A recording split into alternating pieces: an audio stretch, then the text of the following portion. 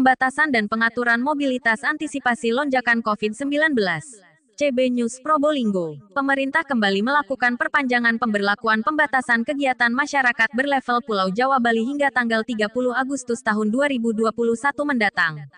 Perpanjangan ini juga diberlakukan kembali di wilayah kota Probolinggo. Pemberlakukan kebijakan ini kembali diambil dalam rangka untuk menurunkan angka penyebaran COVID-19 dan meningkatkan pertumbuhan ekonomi nasional. Dalam rangka untuk menekan angka penyebaran COVID-19, Dishub bersama Satuan Lalu Lintas Polres Probolinggo Kota selaku anggota Satuan Tugas COVID-19, kembali melakukan pengaturan mobilitas warga agar tidak menimbulkan kerumunan di satu tempat.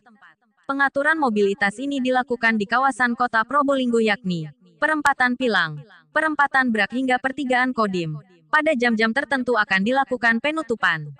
Selama PPKM level 4 hingga tanggal 30 Agustus mendatang, sejumlah titik ditutup. Ini dilakukan untuk mencegah timbulnya kerumunan warga yang dapat menimbulkan penyebaran virus corona. Ujar Kasatgas COVID-19 Bidang Penegakan Hukum dan Pendisiplinan Ahmad Sudianto. Kamis tanggal 26 Agustus tahun 2021. Laporan Gogon Harum dan Mamat Abdullah koresponden CB News dari Kota Probolinggo, Jawa Timur.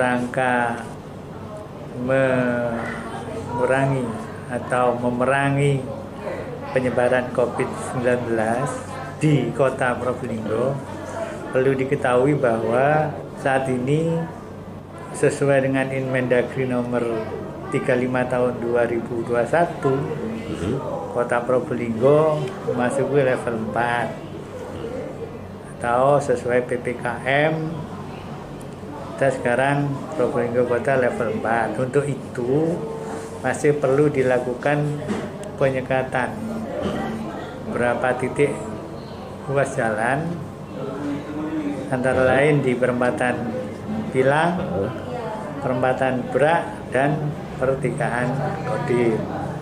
Untuk yang lain-lain dibuka. Oke. Itu pun penyekatan di tiga titik ruas jalan itu dilakukan mulai pukul 16.00 sampai 6 pagi.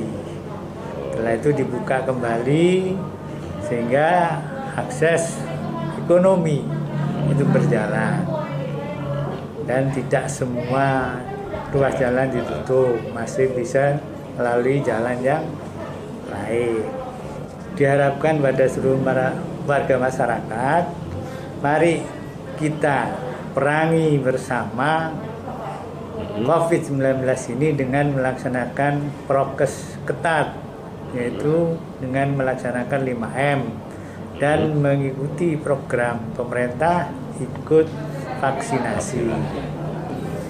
Terima kasih Pak. Terima kasih Pak.